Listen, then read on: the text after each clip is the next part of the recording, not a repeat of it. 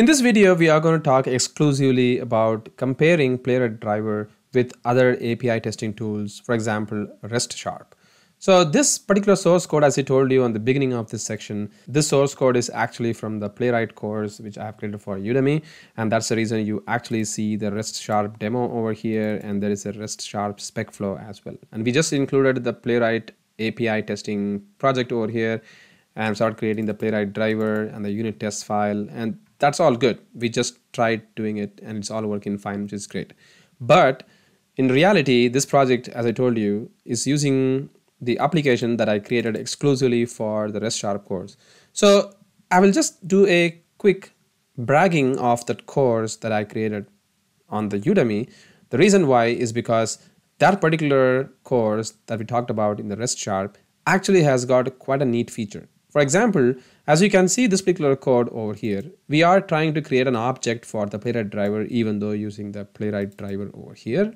As you can see, we're creating an object here and then we are trying to get the response and then we are trying to deserialize this response and then once the deserialization is done using this property name case sensitive or whatever we are also doing the assertions over here and if i wanted to do a uh, operation for example the get operation for a product i need to pass the token which is nothing but the header over here. And you can see that it's all scaffolded inside this particular get operation.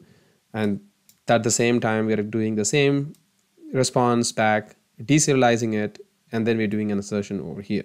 I know it's a quite a lot of code here but how to make this code more readable? I know this code is not that bad readable. I mean it is quite good in terms of like line by line you know what it is and you know what you're trying to do but in order to make this code even more readable, we created this RestSharp course in a way that you could actually read the whole code much, much better. So if you just go to the basic test.cs file in the RestSharp, you can see that we are actually using some dependency injections and stuff, and we're using a REST factory code where you can see that we are doing the same operation like the get by product by ID, where you can see that we are doing a with request for the request that I'm passing in.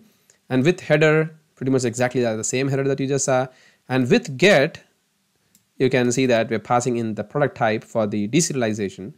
And then we're doing an assertions here. So this whole line, so technically this is like just one line of code I have just made into multiple lines. You can, because this is like a builder pattern, we can just keep calling all the relevant methods. If you just hit dot you can see all the different method comes in. And these are the method that we wrote on the course. So this is not like a out of the box method from the library. These are the method that we wrote in the builder pattern over here. And once you have all these method you'll also notice that we are doing an assertions here. So basically it's like two lines to perform the same operation that we see over here as you can so that is the difference between the RestSharp code that we wrote versus the Playwright code. And you may ask, like, why not we write the same kind of behavior in the Playwright as well? Of course, we can. There is no difference between both of them, the RestSharp as well as the Playwright. You could do the exact same thing. But just that, the thing is, this particular code that you have at the moment is like a basic Playwright code where you need to convert that to a builder pattern, something like this. You could achieve that.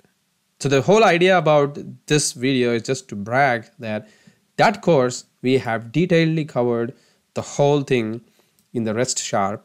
And if you have that course learned, you know how to convert this code into this format of code without any problem.